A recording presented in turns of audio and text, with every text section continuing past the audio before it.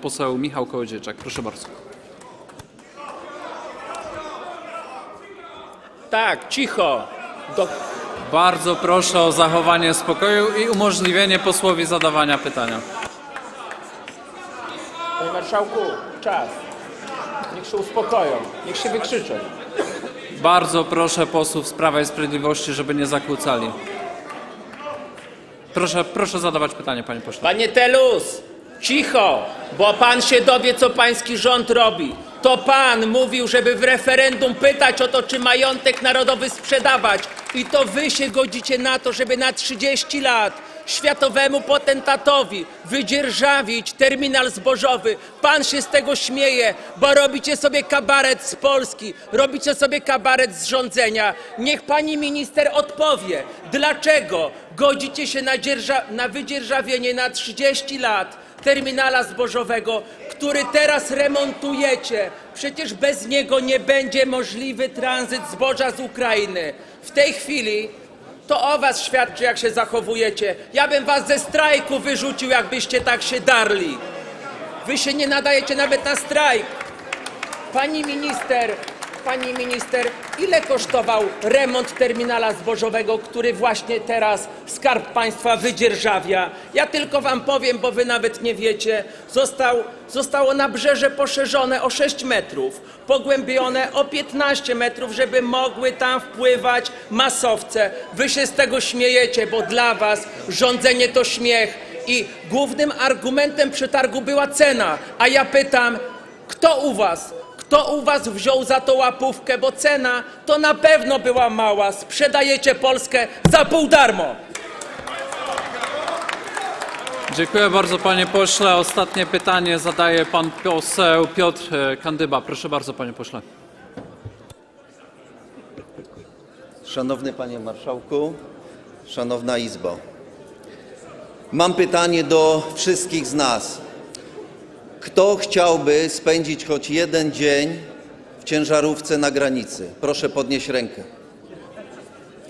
A tam chłopaki siedzą 10, 12 i 14 dni. Tracimy wszyscy na tym konflikcie na granicy. Tracą polskie firmy, firmy transportowe, tracą ukraińskie firmy i ukraińsko-polskie, tracą nasi przedsiębiorcy, traci też budżet państwa. Słuchajcie, tylko z powodu blokady importu w branży handlu biomasą traci VAT, tracimy na VAT-ie około 1 milion złotych, a to jest tylko kropla w morzu. Tracimy naprawdę wszyscy. Sytuację mamy taką. Rząd PiSu nie zadbał w negocjacjach z Unią i to jest bezsprzeczne. Nie sądzę, żeby miał szansę zrobić cokolwiek teraz.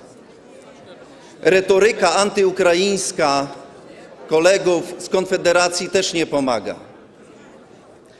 Rozwiązanie na już, rozwiązanie na już. Apel do blokujących o zawieszenie czasowe blokady i danie szansy nowemu rządowi.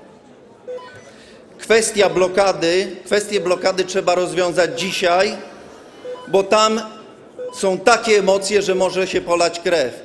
I pan Braun będzie miał wielką uciechę razem ze swoim zespołem. Nie dopuśćmy do tego. Dziękuję bardzo. Dziękuję bardzo, panie pośle. Apeluję o powstrzymanie się od wycieczek osobistych do konkretnych posłów. E, Panie pośle, w jakim trybie? Panie Marszałku, w, trybie spros- w trybie sprostowania. Tylko proszę bardzo Panie krótko. Marszałku, Wysoki Sejmie, podczas debaty zostałem pomówiony przez pana posła Szczerbę, jakobym miał e, coś wspólnego z przedmiotem e, dzisiejszej debaty. Pan poseł Szczerba, jak widzicie gdzieś moje nazwisko od kilku tygodni dostaje jakieś gorączki, zatem pragnę sprostować, że wskazanego instrumentu ani nie negocjowałem w imieniu rządu, ani nie przygotowałem projektu instrukcji w imieniu rządu, ani również podczas posiedzenia stosownej Rady nie wyrażałem stanowiska w imieniu rządu. Pan e, poseł Szczerba e, mógłby się nauczyć tego, jak funkcjonuje Unia Europejska, jakie są mechanizmy decyzyjne. Ja podczas posiedzeń wskazanej Rady, owszem, ale blokowałem em, instrumenty nakazujące karanie za e, poglądy, bo takie były proponowane. E, również e, e, blokowałem w imieniu Panie rządu. pośle, jeżeli to już było To sprostowanie, prosto- to odnosi- wystarczy. Odnosi, odnosi się do tego posiedzenia. Również tam wnioskowałem, by Unia Europejska zajęła się przedmiotem domniemanej korupcji w Trybunale Sprawiedliwości Unii Europejskiej, który francuska prasa nagłaśniała. Więc panie pośle, liczę, że pan się z tych słów wycofa oraz mnie przeprosi i nawet sam fakt, że inni przedstawiciele rządu w tej sprawie będą zabierać głos wskazuje, że pan chyba nie do końca wie, co czytał. Dziękuję bardzo panie pośle. Panie pośle, w jakim trybie? Proszę bardzo, tylko apeluję o zwięzłość, dlatego że wszyscy czekamy jeszcze na odpowiedzi przedstawicieli rządu i na głosowania. Będę się kierował tą sugestią, panie marszałku. E, Szanowni zebrani z tej mównicy, przed chwilą sformułowano nie wiadomo już którą w dniu dzisiejszym i w tej młodej jeszcze kadencji insynuację, ale insynuację szczególnie poważną, e, sugerującą bowiem moją otwartość na działania przestępcze, zbrodnicze, e, niosące tragiczne skutki. Krew na rękach, krew na moich rękach miałaby się pojawić, e, jeśli, jeśli państwo polskie nie rozwiąże kryzysu granicznego. Tak, szanowni państwo, w takich właśnie sytuacjach łatwo o rozlew krwi i dlatego Konfederacja nie od dziś rana, ale od momentu, kiedy ten kryzys zaistniał, a zaistniał jeszcze w poprzednim roku, Konfederacja wzywa do jego rozwiązania na korzyść, rzecz jasna, w interesie Polaków, polskich transportowców, polskich rolników dla zachowania polskiej racji stanu i polskiego interesu.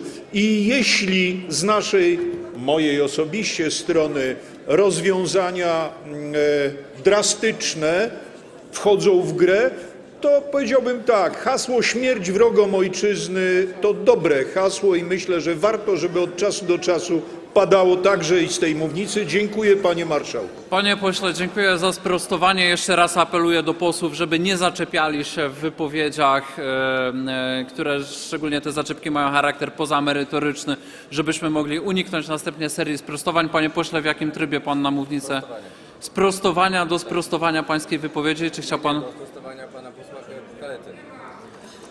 Pan poseł mówił o sobie, nie o panu pośle, także już nie udzielam głosu, proszę wybaczyć. Prostował pańską wypowiedź. Prostował... Ja muszę pokazać jak było. Dobrze, to proszę, ale bardzo krótko i niech to już będzie ostatnie sprostowanie, żebyśmy mogli przejść do odpowiedzi rządu. Dziękuję. Panie marszałku, bardzo dziękuję. Zaczyna się Wysoka Izbo taka akcja. To nie my, to oni. I oczywiście wszystko jest w ramach jednej formacji.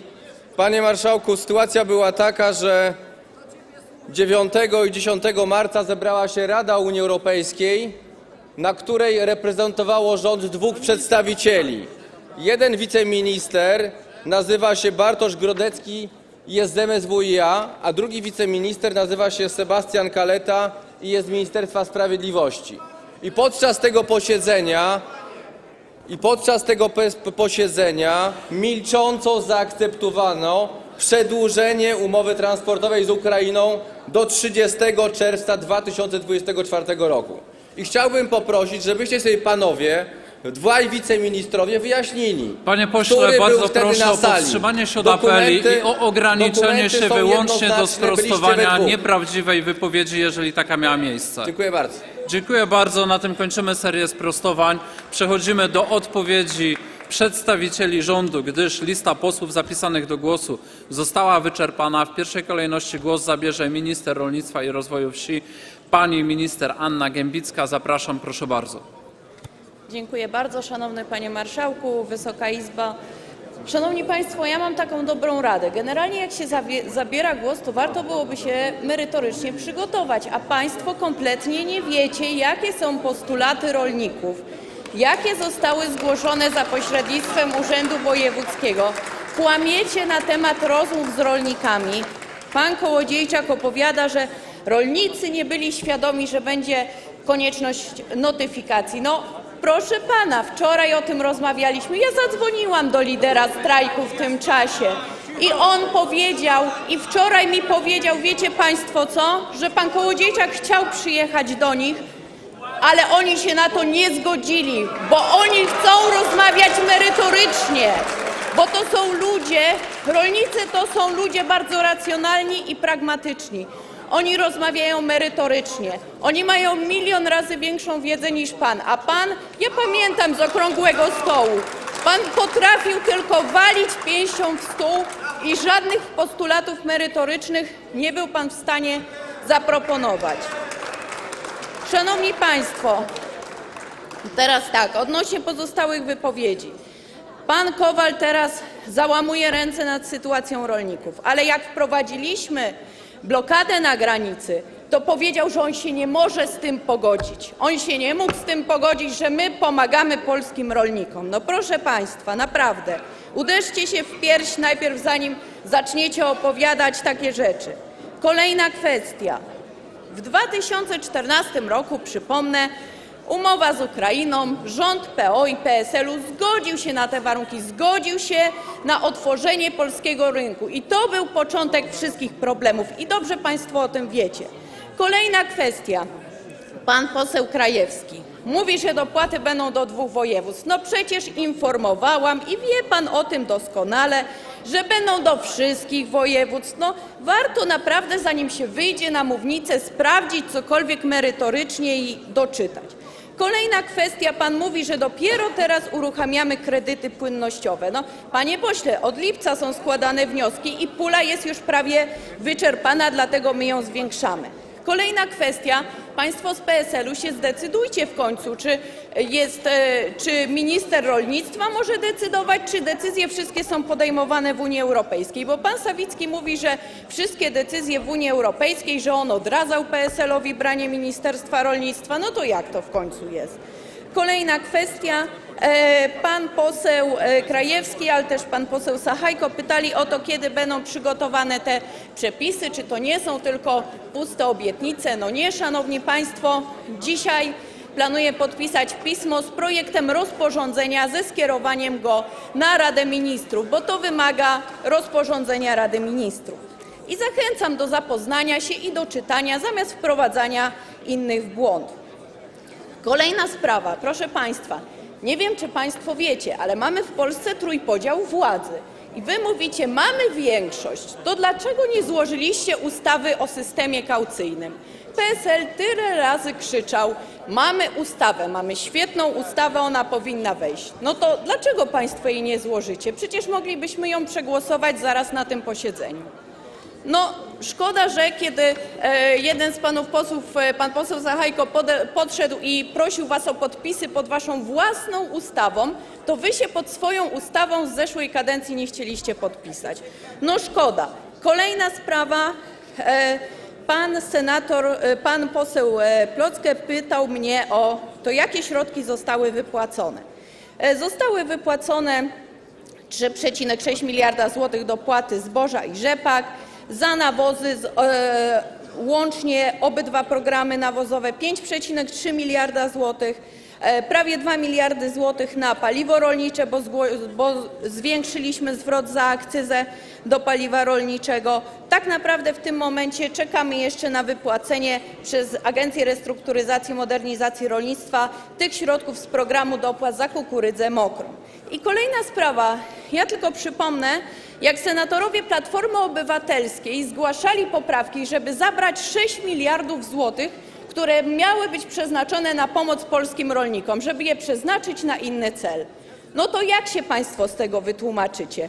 Teraz krzyczycie, że pieniądze nie są wypłacone. Pieniądze są wypłacone, te pieniądze, które Wy chcieliście zabrać. I szanowni Państwo, ja mam taki apel na koniec, żebyście naprawdę Państwo się skupili na pracy, na tym, żeby te wszystkie ustawy, które naobiecywaliście, wprowadzać do porządku obrad, żeby je składać. Podobno ma nie być zamrażarki. To czego się, proszę Państwa, boicie? I jeszcze jedna rzecz, bo były takie zarzuty, że to są e, tylko obietnice. No nie, Szanowni Państwo, nie mierzcie innych swoją miarką. To Wy naobiecywaliście w kampanii tyle, że budżet państwa musiałby być trzy razy większy, a teraz macie problem i zaczynacie się z tych obietnic wycofywać. Dziękuję. Dziękuję bardzo pani minister. E, Zapraszam do, do zabrania głosu pana ministra infrastruktury, pana Alwina Gajadura. Proszę bardzo, panie ministrze.